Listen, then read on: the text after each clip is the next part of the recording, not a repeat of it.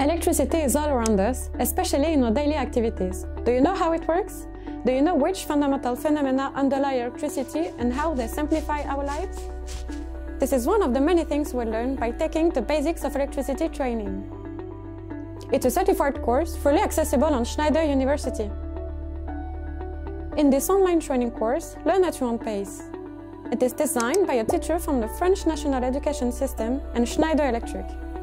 At the end of this module, you will be able to understand the fundamentals of electrical circuits and their components, recognize various types of electrical circuits, identify key symbols used in electrical circuits, and calculate circuit resistance and power.